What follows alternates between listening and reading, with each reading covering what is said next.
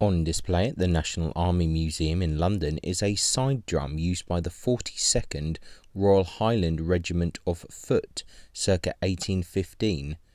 The 42nd served in both Egypt and Spain during the Napoleonic Wars. They served both at Quatre Bras and Waterloo. For more information about this drum, please see the link in the description. Please support the museum in any way that you can.